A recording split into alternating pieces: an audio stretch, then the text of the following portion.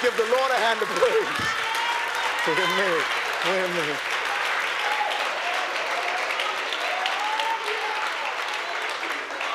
Revelation, Revelation chapter 19 and verse 1.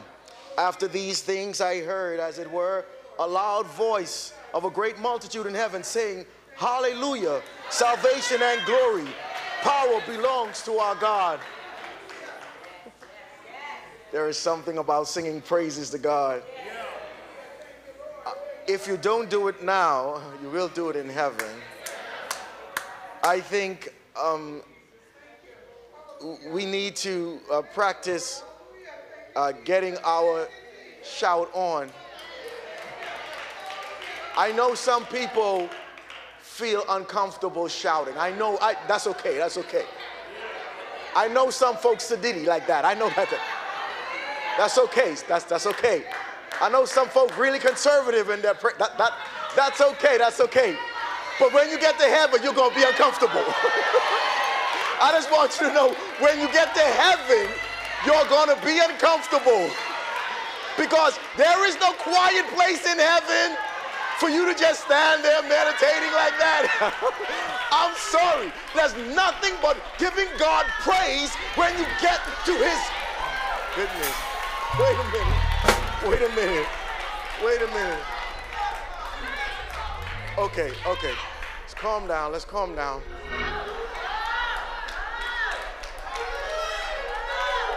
I don't know about you.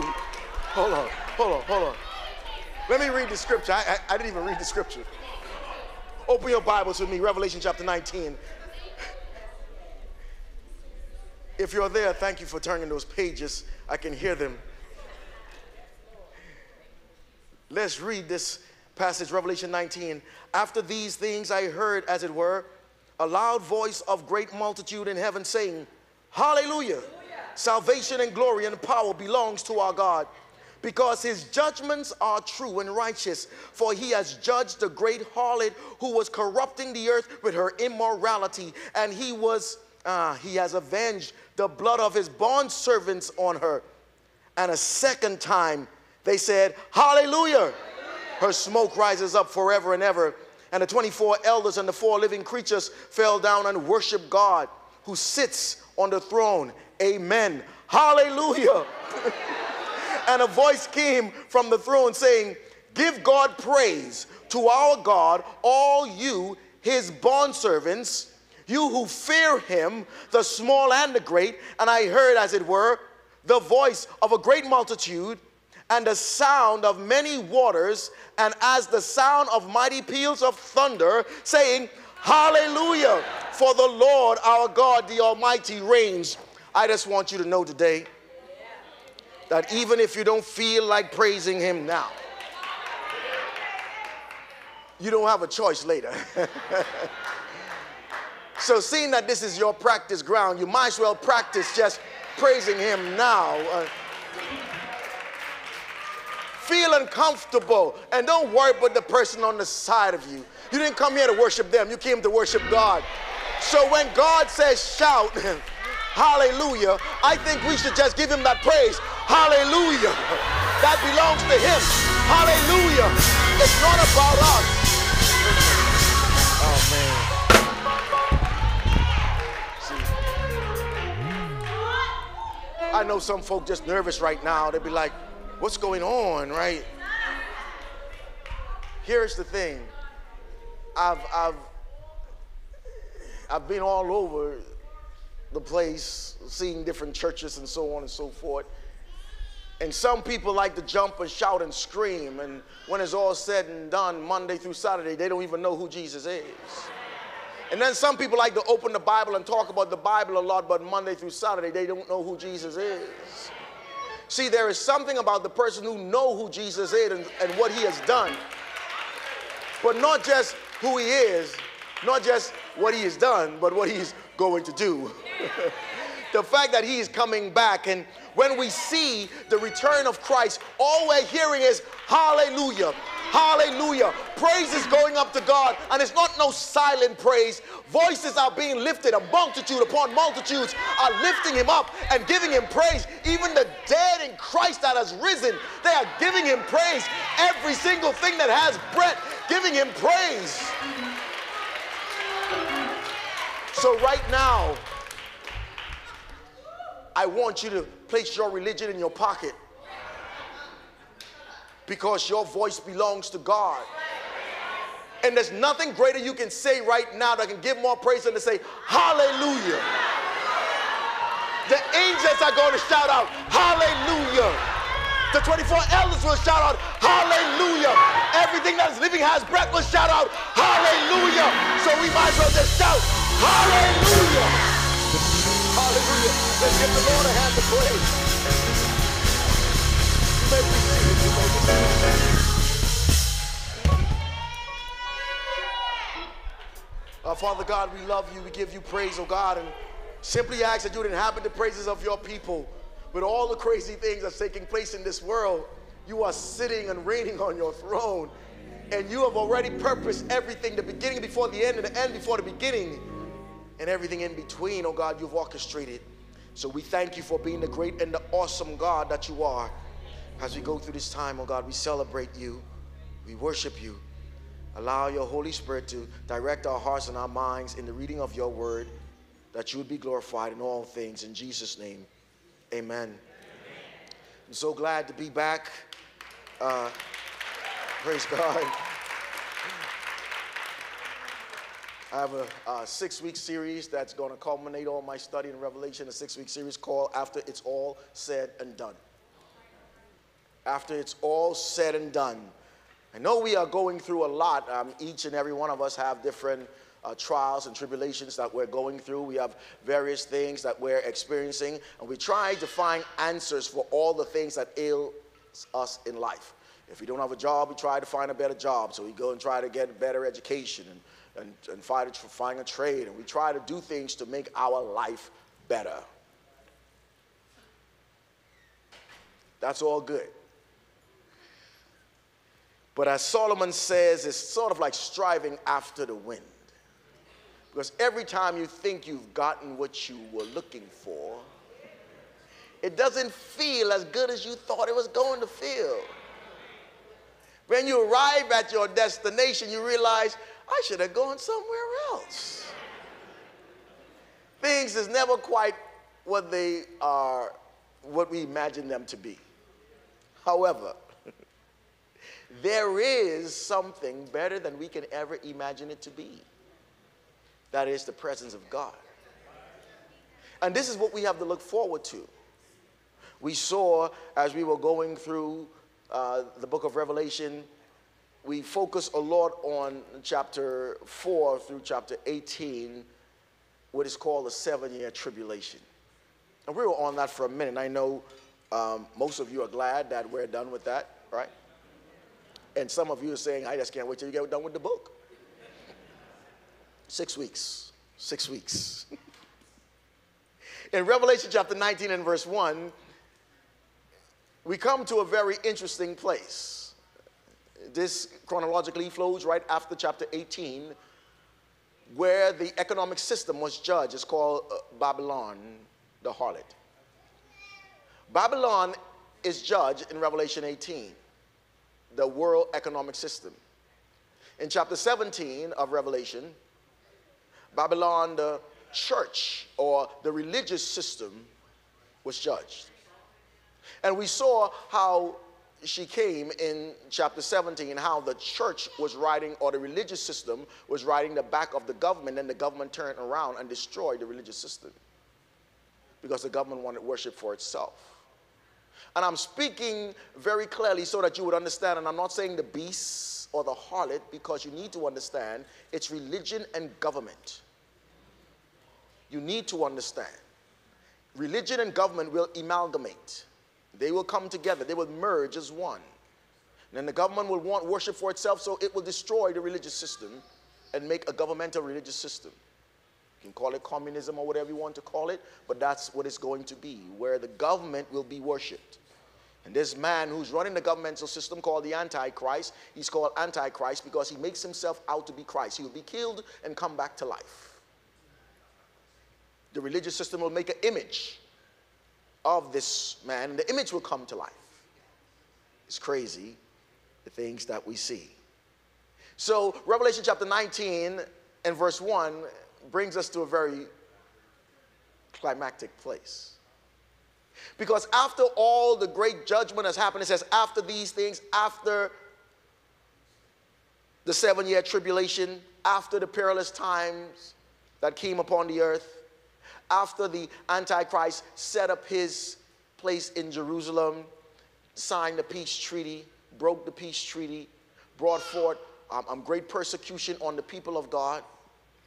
After he set up a system where everyone around the world had to, in order to buy or sell, accept his mark. And God at that time had 144,000 Jewish men who were going out and witnessing and preaching the gospel, and people were getting saved. And as they were getting saved, the government was killing them. They were coming after them and, and taking their lives because they were worshiping Jesus Christ. Goes back to what Jesus said that they would, if they persecuted me, they'll persecute you also because the servant cannot be any better than the master. And that makes me think in this modern era how is it that when we look at church history, the only time the church grew was in persecution? And we're sitting in luxury and we're believing the church is growing because we're seeing people coming into buildings not understanding that that's the sign of the end time. They will accumulate unto themselves teachers in accordance with their own desires. How do you know that this is the last days when the churches are so large but people are spiritually dead? When the folks sitting down in the church don't know what holiness means, have no idea what it means to be church or who Jesus Christ truly is, but they truly have a religion See, that is what's going to be taking place, and we're seeing it being set up now. This false religion is going to come up, and folks in the church will persecute people in the church. Because there will be the wheat among the tares, and the tares will try to tear down the wheat. And it shows Jesus, when he gave the parable of the tares and the wheat, showed that the evil one came in and planted the tares among the wheat. So when you see folks in church today any church that you hear Jesus is not being elevated and the gospel is not the center, you know that that is not a true church. Doesn't matter how charismatic the man is who's speaking, it doesn't matter how many people are attending. That has no bearing on the fact if Jesus Christ is not being proclaimed, it is not a church.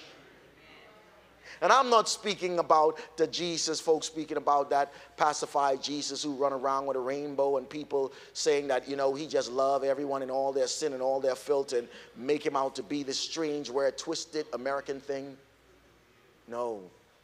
I'm speaking of the Jesus who always was. He has no beginning. He has no end. He is Alpha. He is Omega in the beginning was the Word, and the Word was with God, and the Word was God, and He was in the beginning with God. This Jesus, who literally, who created Mary, went into her womb, came out of her womb, went to a tomb so she could, so he could save his mother, who he created. So we need to understand that Jesus, who I'm speaking of, isn't the Jesus who people serve today. Most people have a Jesus that was made by Hollywood. This is a Jesus who, he says, he accepts you as you are. Now, mind you, some truth wrapped up in a lie is still a lie. Because when people say Jesus accept you as you are, what they're trying to say is you don't have to change anything. Your mind doesn't need to be renewed. You don't need to be transformed. You can still be living in sin, clubbing, doing everything, but just call on Jesus. Just like the rappers on BET when they go to accept their award, man, I like to thank God. Nah. Nah. I don't know who you're talking about. I, we believe I've, I've, I've been seeing a lot of little documentaries and stuff, and I'm like, man, I'm going to keep preaching it. Because now they have queer churches downtown Dallas. It's crazy whole denominations accepting immorality and perversion, but I'm not discouraged because the Bible said it's going to happen. And so it comes about, you know, we went through that for the past two years, so I'm not going to jump back into that. Because the verse says, after the great tribulation time, after the seven seals and the seven trumpets and the seven bowls, and, and now the woes came, the three woes, woe, woe, woe, and now Babylon the Great is being judged. It says, After these things I heard something like a loud voice of a great multitude in heaven saying, Hallelujah! Salvation and glory and power belong to God. Now, this is interesting. The Hebrew word that says hallelujah is the word halal, which means praise. Now, we find in the Hebrew vernacular there are several different words. Toda, Yoda, Halal, Barak, Zema, Shabak, and Tehillah. Uh, all these words, when you see it in the English, it just says praise. So when you see the English words praise, you even don't, you really don't know what it's saying. Because when it says praise, it could mean to lift your hands. When it says praise, it could mean to shout. When it says praise, it could mean to jump. That's what it says, to jump for joy. When it says praise, it could mean to play a string instrument. When it said praise, it could mean to play a wind instrument. When it says praise, it could mean to clap your hands. So when you see the word praise based on the context, it could mean several different things. But the root that we have, this word called halal, the word called halal is to make shine or to boast on something, to rave about something, to celebrate. so it's interesting that this word halal is being used, not Toda, not Yoda, not halal, sorry, not Shabak, not Tehillah, but this word here, halal, which is the highest praise. It's like to boast about God to, with an exuberant voice, to declare who He is. It's all about Him when you halal. And it's interesting because when you look at Psalms chapter 111 to 112 and Psalms 135, they begin with hallelujah. When you look at Psalms 104 to 105, 115 to 116, it ends with hallelujah. When you look at Psalms 106, 113, 117, 146 to 150, it begins and ends with hallelujah. Now, if you read the Psalms, I'm going to take from Psalms 146 to 150 and just use the beginning verse and the end verse. Psalms 146. Praise the Lord. Praise the Lord, O my soul. I will praise the Lord while I live. I will sing praises to my God while I have my being. The Lord will reign forever. Your God, O Zion, all the generations. Praise the Lord. Psalms 147. Praise the Lord for it is good to sing praises to our God. For it is pleasant and praise is becoming. He has not dealt thus with any nation, and as for his ordinances, they have not known them. Praise the Lord. Psalms 148, verse 1 through 4 and verse 14. Praise the Lord. Praise the Lord from the heavens. Praise the Lord in the heights. Praise him, all of his angels. Praise him, all of his hosts. Praise him, the sun. Praise him, the moon. Praise him, all the stars and all the lights. Praise him in the highest of heavens. And he has lifted up his horn for his people. Praise for all his godly ones, even for the sons of Israel, a people near to him. Praise the Lord. Psalms 149. Praise the Lord. Sing to the Lord a new song, and his praise in the congregation of the godly ones to execute on them the judgment written, that is, an honor for all the godly ones. Praise the Lord. Now, it's interesting right here in Psalms, before I get to Psalms 150, uh, Psalms 149 and verse 1, it says, Praise the Lord. Notice what it says Sing to the Lord a new song, and his praise in the. yeah. Yeah. It says, praise him in the congregation. So when you say hallelujah together with a loud voice, it's songs sort of like Revelation 19, verse, chap, verse 1 and 5, where the multitude are saying hallelujah. But guess what? This was given to Israel way beforehand that they should shout Hallelujah. And even in the church, Paul says, continually sing psalms, hymns, and spiritual songs, making melody in your heart towards God at all times. We're always supposed to be shouting a, a, a praise shout to God. Hallelujah. Boasting in God, bragging about God. Listen, I know people brag about their basketball team and football teams more than they talk about God. Don't you find that strange? If my God is my God, if he is the creator of the world, if he created DNA, if he spoke and everything came into existence, if he took dirt and bread into it and man became a living soul, if that is my God, you're trying to tell me I can break my fingers clapping for some cowboy? But I can't come in church and break my fingers giving him glory? I can't wake up in the morning and clap my hands. See, the reason why we can't clap our hands in church is because we don't clap our hands at home. If you're not used to praising God, you ain't gonna come here and do it. So that's why praising God's strange. Because you be like, what y'all doing? Well, well, I know what I'm doing. I'm doing what I do when I'm in my car. I do what I'm doing. Man, sometimes I'm walking in Walmart. People think I'm crazy. I have my earpiece on. I'm going to sing my song. I don't care. Why? Because I don't know what's going to happen when I walk outside. See, think about this. Imagine when your time comes, you praising God because you don't know when it's going to come. You could be driving your car. If you're driving your car listening to the wrong thing, imagine you're at home watching the wrong thing. You get a heart attack. And the last thing you see was some desperate people calling themselves wives. I mean,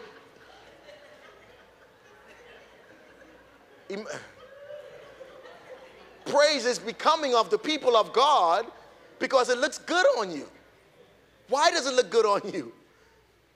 Because you're boasting of the Father. I mean, what else is there to boast of?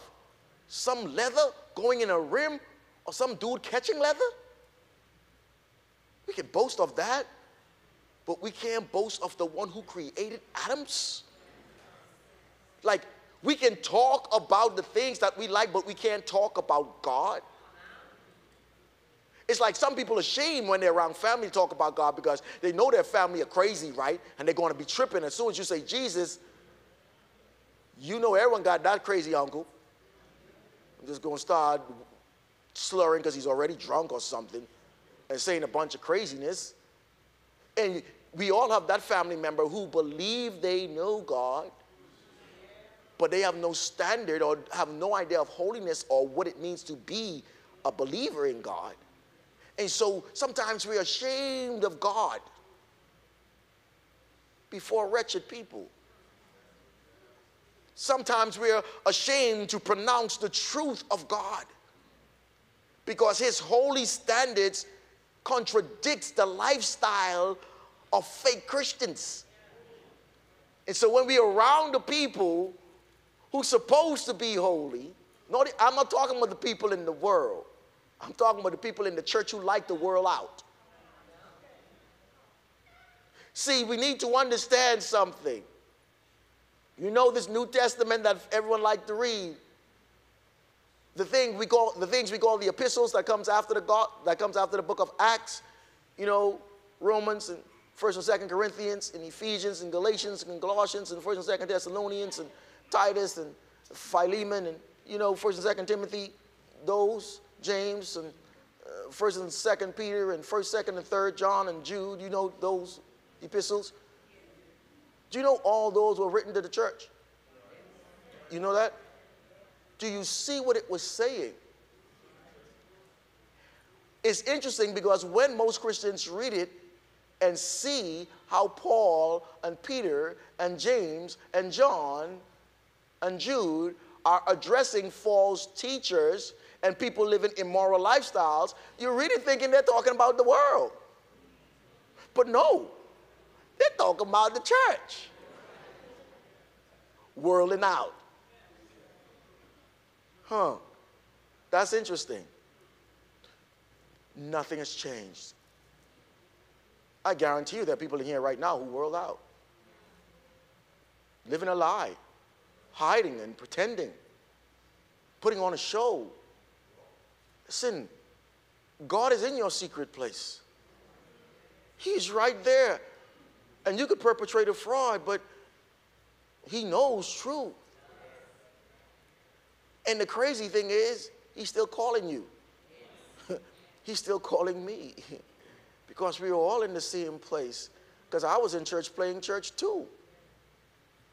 I just, you know, got convicted. And the Spirit started to do something in me. But guess what? Every single morning, like this morning, he says, I ain't done with you yet. Because I still got those idiosyncrasies called sin that I have to deal with. Because I still shout. And I don't mean hallelujah. I mean, I get mad sometimes for no reason because I'm all in my flesh. And Paul said to buffet that flesh. And so I'm practicing I'm practicing, I'm training myself, and it's hard, man. It's hard trying to live right in an ungodly world. It's hard trying to be a Christian in the church. Church people crazy. Y'all know what I'm talking about. It might be you. might be me. But church people crazy. Why? Because we just people. Broken. Hurting. People who God uses for his glory. And that's the beautiful thing about it. Is that no matter how much we mess up, once we confess our sins, he's faithful and just to forgive us. He's always, he's always going. But watch this. There's a difference between messing up and having a lifestyle. If you do it every single day and say, God, I'm sorry, you're lying. Stop doing it. If you're struggling, that's one thing. But if your if your struggle is, man, you know what, God gonna forgive me, that ain't a struggle. That's a lifestyle. God is here this whole idea of singing praises to God is just so awesome. I'm going to, this Psalms 150 only has six verses. Each verse shouts a praise. I'm going to put it up there. So I want you to read it with me. Psalms 150. I'm reading from the NASB. Let's read together. Praise the Lord. Praise God in his sanctuary. Praise him in his mighty expanse. Praise him for his mighty deeds. Praise him according to his excellent greatness. Praise him with the trumpet sound. Praise him with the harp and the lyre. Praise him with the timbrel and dancing. Praise him with sing. Mm. Praise him with a loud. Praise him. Let everything that has breath praise the Lord. Wait a minute. So hold up. Hold up. Ah, let's see right here. Sam, it said, praise him. Sam, you can break on your dance and no one can stop you. Just praise the Lord in your dance. Of course, you know, it don't mean the club dance. Don't. I was going to do something just now, but I saw Fred, so I'm not going to do it. He probably take a picture? put on Instagram or something. But don't praise the Lord like this, man.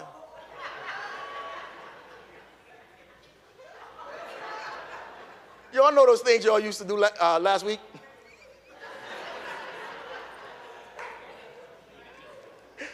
we praise the Lord according to the holiness that He has lavished upon us, right? We praise Him because He's worthy of it.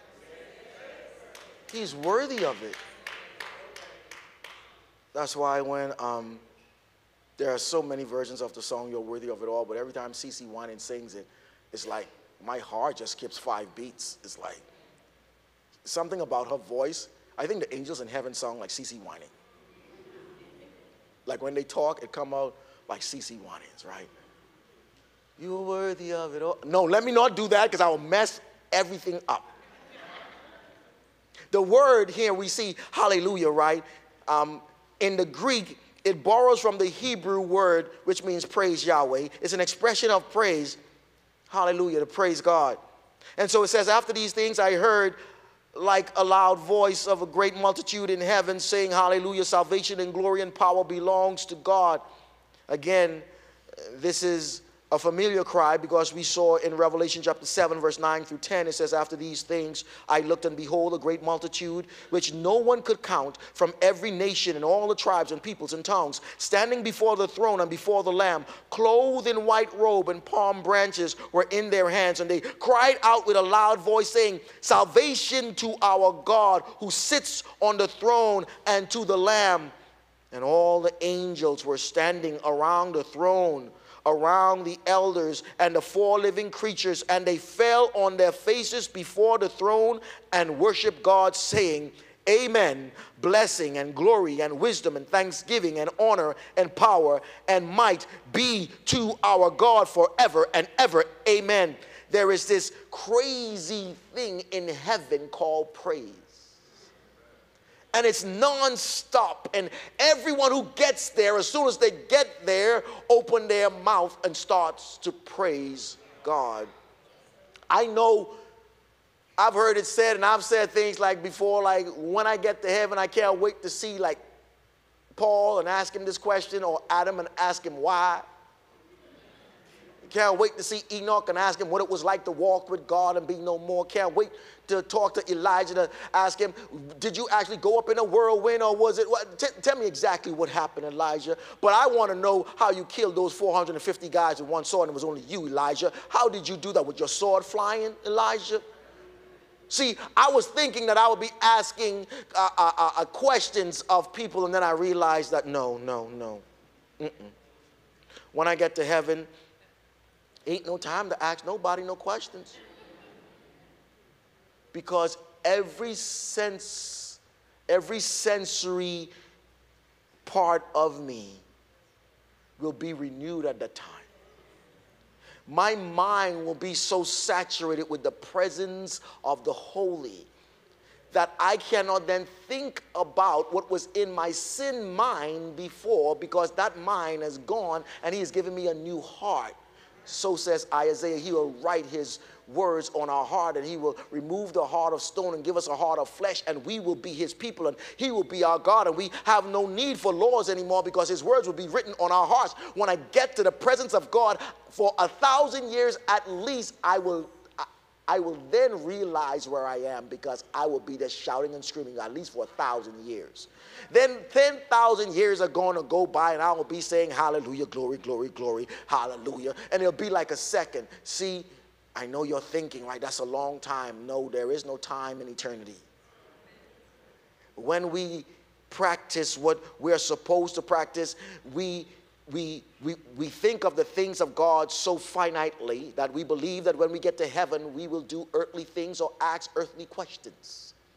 Can I tell you that you will be so enamored with the presence of God that any question you have now will be completely irrelevant for all eternity. The questions you have now will not exist anymore because your nature will not exist anymore your thought process, how you think, will not exist anymore because He will fashion you into a new creation. By the way, the process has already started. When you place your faith and trust in Jesus Christ, you started eternity at that moment. At that moment when you believe that Christ died for your sins and rose from the dead, at that moment that you place your faith and trust in Christ Jesus, you gained eternity right then. Even though this body is corrupted and is decaying and is dying, your soul is living forever. And we will be in the presence of God as we will see when we get the chapter, the beautiful chapters of 20, 21, and 22. Living in the presence of God, we cannot even imagine. This is why we see now the multitudes in heaven shouting out and giving God praise because the only thing they can do in the presence of God is to give Him praise.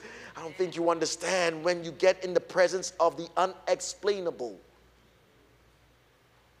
you don't have a lot of words. Notice, not a lot of words are being spoken in heaven by those who are there. The first time we see the man, the 24 elders, and then we see the creatures, all they're saying is, Holy, holy, holy. Then we see the multitude, hallelujah, hallelujah, hallelujah. Ain't a lot of words in heaven. I mean, that's all folks saying. Why? When you get in the presence of God, you will then realize that you are in the presence of God. This is why it was so difficult for Israel to understand when the presence of God came down the mountain, Exodus chapter 20. And the presence of God came, the people were afraid. The lightning and the thunder, the earth shaking, everything around them moving. And God spoke to Moses, and they heard his voice, and it was like the sound of thunder. So imagine someone speaking, but when they speak it's thunder. Now, I'm sure some of you heard thunder before, right? You're in Texas, you probably heard it once or twice. when you hear thunder, imagine the loudest thunder you can possibly hear continuously going over like it's someone speaking. I'm sorry. I've been where there was a loud thunder and lightning flash, and I was scared. I was scared. I wasn't scared, I was scared. the type of scariness that makes me want to run. Unlike the folk in the movies, when the danger comes, they run towards it. That is not of God.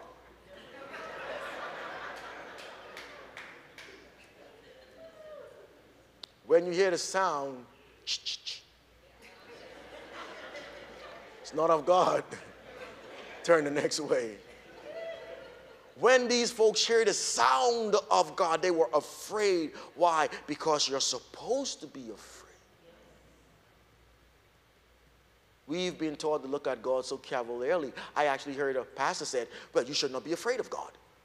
But the scripture says, Fear him. I'm confused. It says, The fear of the Lord is the beginning of knowledge and understanding. And I heard this joker say, telling people, well, you shouldn't fear God because he's your father and he loves you.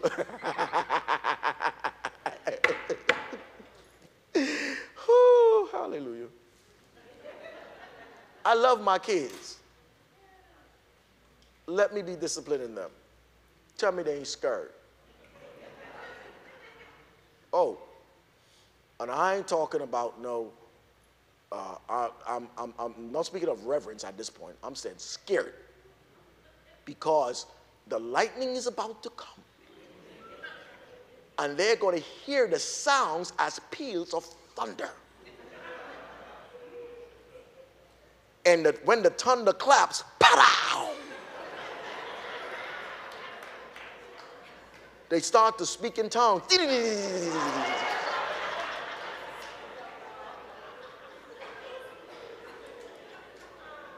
my kids feel that way, if I felt that way about my dad, you're trying to tell me we're not supposed to fear God. No, I think we have a wrong understanding. So when these folks get to heaven, everyone in heaven, they're shouting out, they're giving God praise. So verse 2 gives us the reason why they're rejoicing. Watch what it says. Because judgments, it says, because his judgments are true. Now, why is it saying his judgments are true? Well, in John chapter 14, verse 6, Jesus said to him, I am the way, the truth, and the life. No one comes to the Father but through me, because he is truth, right? Now, watch this in John chapter 16, verse 13. He says, But when he, the Spirit of truth, comes, he will guide you into all truth. For he will not speak on his own initiative, but whatever he hears, he will speak, and he will disclose what is to come. John chapter 8, verse 14 and 16. Jesus answered and said to them, Even if I testify about myself, my testimony is true. For I know where I come from and where I am going, but you do not know where I come from nor where I'm going. Chapter 8, verse 26. I have many things to speak and to judge concerning you. But he who sent me is true. And the things which I have, which I heard from him, these things I speak to the world. So Jesus is saying he came as the truth of God. He is the truth. When we see him, we see truth. When we hear him speak, we hear truth, but everything that comes from him is true. This is why he can literally judge the world because he is the truth. First John chapter 5, verse 20 says, And we know that the Son of God has come and has given us understanding so that we may know him who is true. And we are in him who is true, in his Son, Jesus Christ. That is the true God and eternal life. I don't think we, most Christians don't even understand who Jesus Christ is. Paul told the church in Colossae, he said that we don't know who we are. Who we are would not be revealed until Christ comes. Until then, it's a mystery. We have no idea what the afterlife, and it's not the afterlife, it's the beginning of eternal life. Imagine. People believe when they die, they lose something. No, when we die, we gain something. For Christians who are afraid to die, I find it peculiar. Now, no one wants to be in pain, i.e., me. So I get that. But you can't be afraid to die. I mean, when I say die, to leave this plane of existence. Because I can't wait to get to see the Father. I'm in no rush.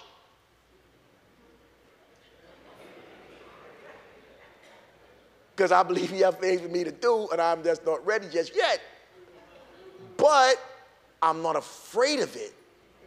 Hear me. Because it's a blessing to those who are in Christ Jesus. It's our reward. It's when we get it. Revelation chapter 3, verse 7 And the angel of the church in Philadelphia write, He who is holy, who is true, who has the keys of David. Speaking of Jesus, this is why it says, right, because his judgments are true and righteous. So his judgment is just, they're not only true, right? So he can righteously judge. I mean, he can judge because he is the standard of truth, but also because he is righteous in John chapter 8, 16, but even if I do judge, my judgment is true, for I am not alone in it, but I and the Father who sent me.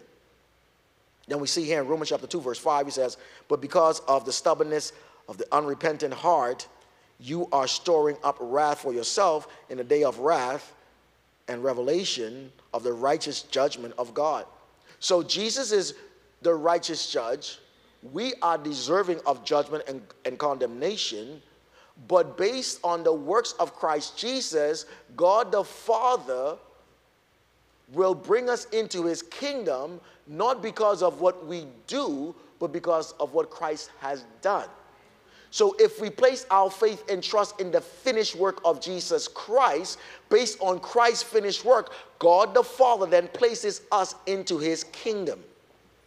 Now, if we don't believe in Jesus Christ, i.e., what he said when he said in Matthew chapter 28, verse 19, go out into all the world and make disciples, baptizing them in the name of the Father, Son, and Holy Spirit, teaching them to do all that I have commanded. Most Christians don't even know what that means because they don't know all that he has commanded because we're not studying. It's not the job of a pastor to place the word of God in your heart. Scripture says, as we about to do the Awana ceremony, study to show yourself approved as a workman who need not be ashamed, rightly dividing the word of truth. That's what every Christian is called to do, not just the little ones. We're all supposed to hide the word of God in our hearts that we may not sin against him. So why is sin crouching at our door just like Cain? Because we haven't hidden the word of God in our hearts. The word of God is there so that we might not sin against him. It's a preventative measure, but we need to accept it.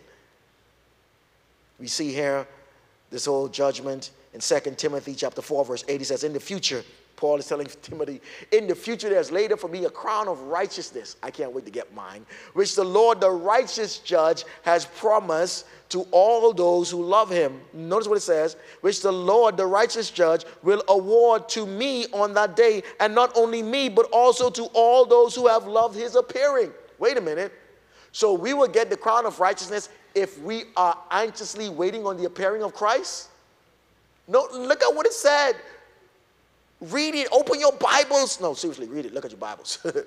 See what it says.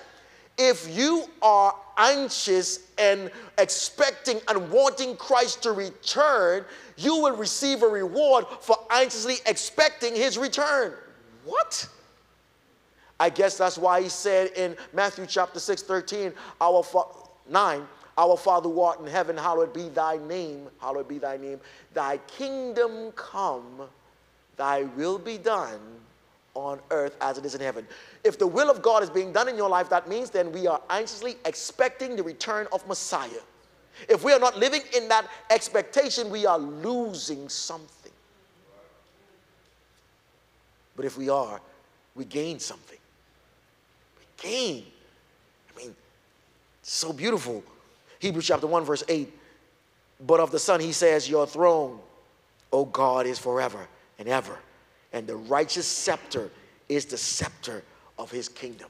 So when Jesus comes, the reason why he is the true and the righteous judge and why he can do this is because it's his kingdom. So he made the rules. Wait a minute. Trying to tell me then that the Christian life isn't about me, how I feel, or what I think. You're trying to tell me it's all about Christ and his kingdom. You're trying to tell me Christ made all the rules, and I need to follow Christ's rules. But I was told that Christianity isn't about a bunch of do's and don'ts. I heard a pastor say that too. I'm like, if Christianity isn't about a bunch of do's and don'ts, don't I have to accept Christ? I start off having to do something. Don't I? I have to believe. When I believe, then I have to live out my faith. I have to work up my salvation with fear and trembling. I have to renew my mind. I have to draw near to God. I have to resist the devil. Oh my goodness, there's a lot of do's and don'ts. And then I have to do all that Christ has commanded me. I have to make disciples. but it's not like that, a bunch of do's and don'ts. It's just a lifestyle of serving. If you look at it as a bunch of do's and don'ts, it's probably because you, you're not in right relationship. It's not a bunch of do's and don'ts. It's just a relationship. In my marriage, it's not a bunch of do's and don'ts. It's just a relationship. We are the bride of Christ. So our relationship requires that we live in such a way to demonstrate that we are his bride. Because a few verses down, we're going to see why.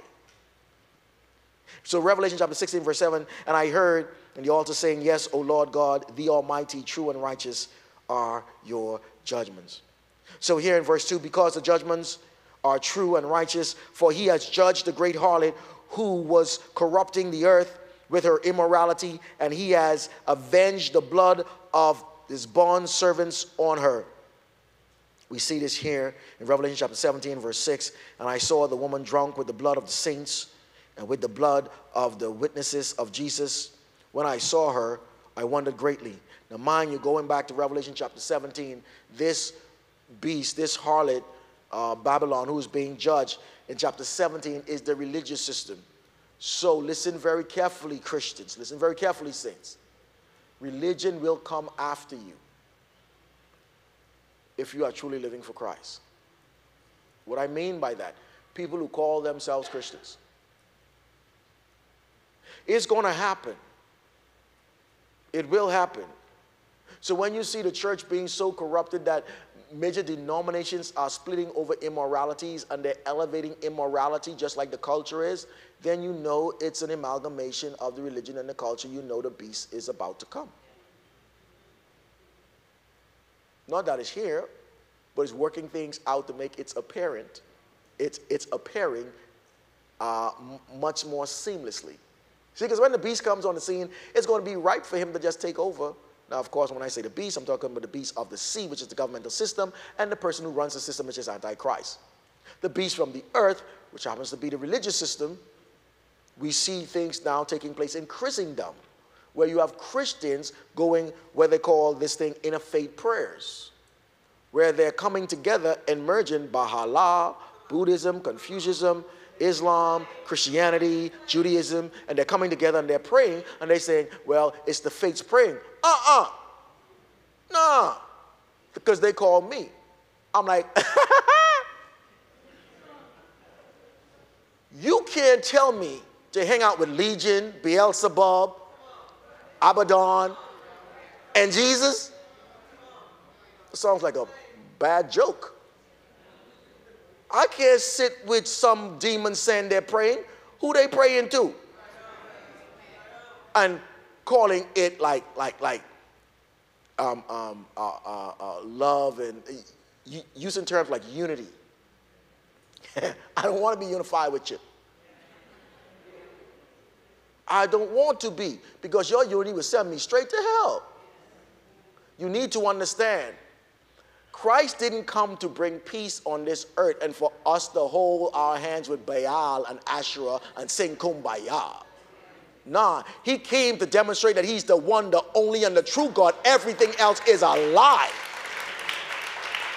And I know some Christians, they're so scared. But Pastor Dave, you can't talk about other religions. Demons. Don't have time to play that game. You need to know what you're fighting is demons. It ain't no such thing as other religions. It's just demonic entities guising themselves to be worshiped. That's not new. The thing right now that we're calling abortion, I told folks, I, I say this all the time, it's called Baal worship. It's right there in the book of Exodus. Read it. You will see it. The things that were all this blatant homosexuality, what do you think happened in Sodom and Gomorrah in Genesis chapter 6? Do you think this is new? No. When the government takes over and make immorality the natural thing, God sends down fire. And it's going to come. It's called the tribulation.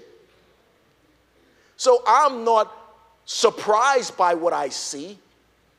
I'm just like, I am living, actually, Lord, I'm actually living in this era. Like, and I'm like, Lord, what do I do, right? But we know what to do. Love God with all of your heart, soul, and strength. Serve Him. Tell people about Him. Be willing to die for Him. See, we haven't been trained to be willing to die. We haven't been trained to accept suffering and the burden of the cross. We haven't been trained to do that. You need to accept if you are Christian, you will suffer persecution. That's what Paul says, right? 2 Timothy chapter 3. Evil men and impostors will proceed from bad to worse, deceiving and being deceived. He says, Because of this, I had suffered at Antioch, at Iconium, and at Lystra. What persecutions I have endured, and out of them all the Lord has delivered me. Now remember, he got murked, he got killed, and came back. Yeah, read Acts, right? But when you see what it means to be Christian, and then you look at what's taking place in culture, you would feel lonely. I know I do. No matter where I go, I see sin. It bothers me. Can't, you can't watch anything, can't listen to anything. The speech is perverted. Everything is perverted. And now they want you to accept perversion. See, that's the harlot. That's what she's going to do. The government is going to legislate these things. And this is why I tell Christians election is coming up and people get so confused when I speak. So let me say this, and, I, and I'm going to keep saying this. I'm not speaking about you voting, I'm speaking about you tying yourself to a system. Vote for the person who you think can represent your viewpoints well. I just pray your viewpoints line up with God's. But in the midst of that, no, this world is going to be destroyed by fire. And it's not global warming either. Know this God already said is going to happen. The reason why it's going to happen is because of sin, and the government will rise up against Christ at Megiddo, and they will come and they will try to shoot him out the sky with their rockets. And it's not going to work. He's going to open his mouth slaughter every military force on the planet. This is not our home. This is not your government. This is a foreign place that you are in, a temporary place, a trial period that you're going through. Your home is the kingdom of God. So when you live here, you live here as an ambassador of God, as a servant of Christ Jesus. Do not tie yourself with this system. Do not become Democrat or Republican. You can vote, yes. Vote for those morals and principles that lead your conscience based on the Word of God. Yes, do that. You have to. But do not tie yourself to donkeys and elephants. Don't do it. Tie yourself to God, His kingdom, His righteousness, and watch what happens. So, Revelation chapter 19, verse 3 to 4, and I close. And the second time they said, Hallelujah. A smoke rises up forever and ever. So now judgment has came on this wicked government. And the 24 elders and the four living creatures, they fell down and they worship. Well, we saw this already, right, in Revelation chapter 4, verse 8. And the four living creatures, each one of them having six wings and full of eyes all around them, within and about. They never cease to say, Holy, holy, holy. This is why I said there's two words said in heaven holy and hallelujah. Because all these living creatures and the elders are saying is holy, holy, holy all the time. Notice what it says. They never cease to say. What does it mean? Night and day they do not cease. It means it's all they're saying. So you go to heaven, all you hear is holy, holy, holy. all the time.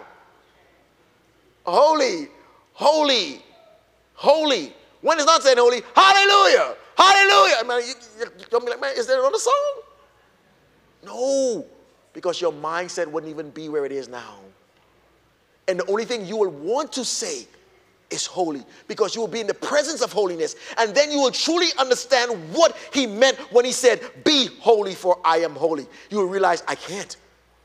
I need you to be holy in me, to make me fall before you, to be holy.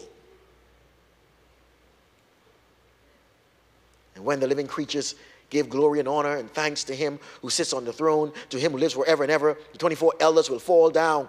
Watch this. Mm. They come, it says they fall down before him who sits on the throne and will worship him who lives forever and ever. And they will cast their rewards, their crowns, the rewards that was given to them, the crown of righteousness, the, the crown of peace, and uh, all, they will give their crowns to to Christ, they will throw them off their heads and they'll bow down. The, the things that we call valuable, they say, uh uh it means nothing. I just want you. That is worship, right? I mean, imagine if we respond like that right now. To all the blessing that God gives us, all the possessions and all the things that we have, we say, Lord, um, um, this is for your glory. I just want you. Imagine if we would do that give our wives and our husbands, our children to God. Say, Lord, I, I want you. Watch what He does with that thing when you place it on the altar. Take your Isaac, place it on the altar before God, and watch what He does in your life. Because there's always the ram that He sends for the sacrifice. Where we believe that we're sacrificing something and we give ourselves and we give it as if though we believe it's going to be taken, He steps in and He provides the sacrifice and He blesses us. It's just what He does. Why? Because that's just who He is. Paul told Timothy, sorry, that was James was saying that in him there's no variation or shifting shadow What? meaning God doesn't change. His mind, his nature, his character, who he is. Who he is a million years ago is who he will be a million years from now. And when I say a million years, I'm speaking of eternity. Eternity past, eternity present, even in time right now, he is consistent. He will not change. He is who he is yesterday, today, and forever. And I, cl- I said I close already. And a voice came from the throne of God giving praise to God. All you, his bondservants, you who fear him, small and great. Then I heard something like the voice of a great multitude, and like the sound of many waters, like the sound of mighty peals of thunder, saying, Hallelujah, for the Lord, our God, the Almighty reigns. Father, we glorify you this day. We thank you for who you are, for all that you have done, and for all that you are doing. Give us this day, oh God. What we need in order to come before you, to give back to you the worship that you deserve. You left us here on this earth, oh God, to demonstrate to this lost and dying world who you are, to present the gospel of Christ Jesus to all those who are not in a relationship with Him, that they would know Him, that they would fear Him, that they would love Him, that they would serve Him. Father, this day, if there is any who would be watching right now or sitting in this room, by the power of your Spirit, would you draw them to you?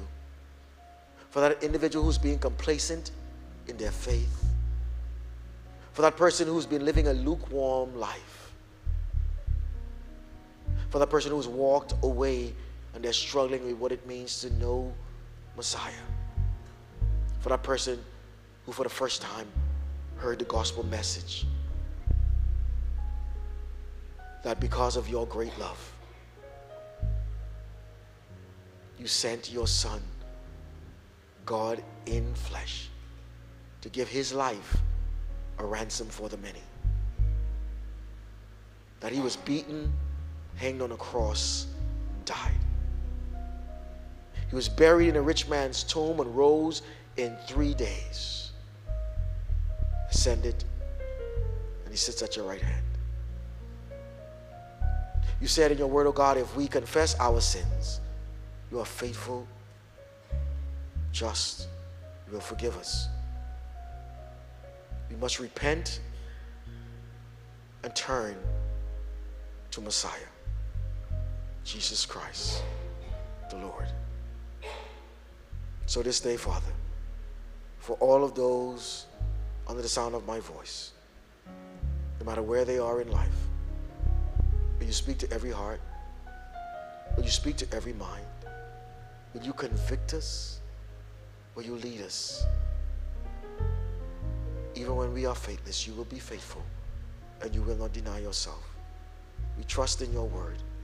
We trust in you. In our weakness, be our strength. Only you can lead us into truth by the power of your spirit. So we surrender ourselves to you, to your will, to your way. That your will be done. In Jesus' name, amen.